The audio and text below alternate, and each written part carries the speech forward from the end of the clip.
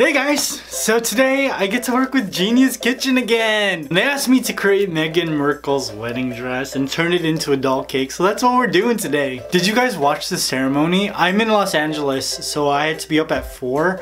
I was a little late though, I woke up at 5 because I was just too sleepy. I loved the ceremony, I think Meghan Markle looked gorgeous, so let's get started.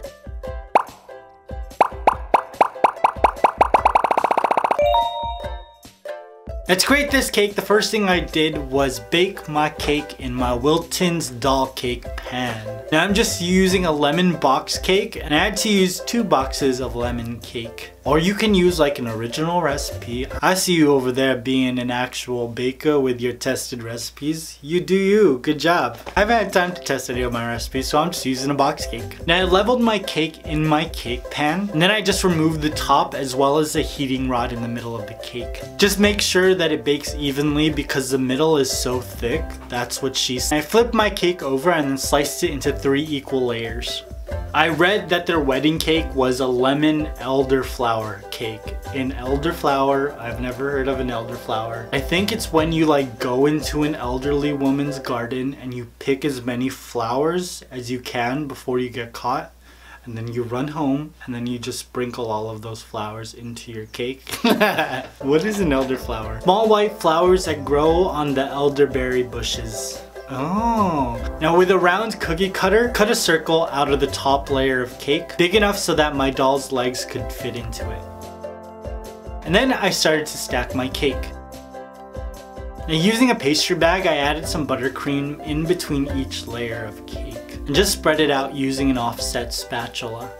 My buttercream recipe is really simple, just one part butter to two parts powdered sugar and then three parts of love. Meghan and Harry seem so happy. Even in their interviews, it seems like genuine happiness and love. I'd be so happy for them if I wasn't so lonely. now I just continued stacking my cake, adding buttercream in between each layer. Then I gave my entire cake a crumb coat and then placed it into the fridge for about 30 minutes, just so everything could stiffen up. After I took it out of the fridge, I realized that the dress doesn't have as much volume at the bottom, so I took a serrated knife and just started to shave away the sides. I tried to be as true to like this shape as I could. There's even less volume than what I'm actually like shaving away, but I wanted to make sure there was still like a good amount of cake. Using my serrated knife as well as my sidekick paring knife that I named Meatball, I cut out some grooves and slits into the sides of the cake so that I could give this dress a little bit of texture. The design of this dress is extremely simple, which means that I couldn't use like more fondant to create some fabric texture. The one layer of fondant that I added onto this dress had to do that on its own. My favorite thing about the royal wedding are all of the hats. They're so extra. Where's my hat? Let me go get it. there we go. Oh, I should have been wearing this the whole time. All of those hats looked super expensive and this was so much money, you guys. I used probably about like $6 at the 99 cent store recreating this hat for this video. I should have just snuck into the wedding with this hat. I could have been chilling next to Oprah in one of those pews. Once I gave my cake a crumb coat for the second time, I took my Barbie, which was a soccer player Barbie, plunged her legs into the middle of my cake. Now I only cut a hole into the top layer of cake because her legs are really thin and the rest of the cake just sort of supported her body. Now this cake only goes up to her waist. So I filled the gap between her legs and her waist with some white fondant. And using my fingers and some sculpting tools, I just blended the fondant into the rest of the cake.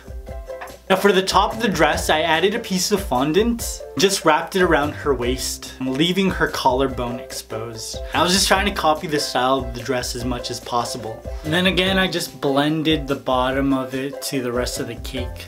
And I didn't even worry about the back of the dress because I knew it would be covered by her hair. Now I wrapped a very large piece of white fondant around the rest of the cake and just hid the fondant seam at the back in one of the grooves I created. Now using some magic sauce, vodka.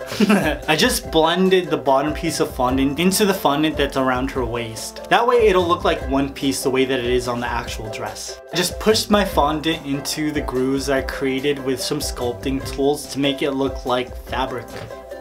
I wrapped a small piece of fondant around each arm and just followed the design of the dress making sure that her wrists were exposed and, and the top of it left her shoulders exposed. And when I'm creating a sleeve for a Barbie doll, I always take the arm, I bend it the way that I want it to look on the dress, and then I work with it up. That way when you place the fabric on, you don't have to move it as much, you just have to turn it down.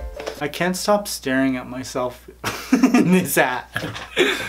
Once I finished with her sleeves, I took my X-Acto knife and very carefully just removed the pink ribbon she was wearing. And then using an old doll crown that I had lying around because apparently I'm some sort of a doll collector now, and some fabric tulle, I gave her a veil. And voila, my Meghan Markle wedding doll cake was complete. Oh, I thought that she looked stunning in her dress and she wasn't even wearing that much makeup. She just had this like really natural looking glow. I feel like the world that we live in right now is so divided, but like for a few hours on Saturday, I felt like I was just watching this couple build a bridge. Genius Kitchen, thank you so much for asking me to make this cake. I'll leave all of their social media links in my description box so you can head over to their YouTube channel and subscribe. I feel like I'm gonna be doing a lot more with them, so fingers crossed. I hope you guys enjoyed this. I hope you're ready for one more doll cake. I was already planning on releasing a doll cake for this week, but this video was kind of a surprise and it took the place of that doll cake, which means Friday, I'm going to be releasing my Princess Leia doll cake in honor of the Solo movie. I made this cake a long time ago and it's finally being released. I love you guys and I'll see you very soon.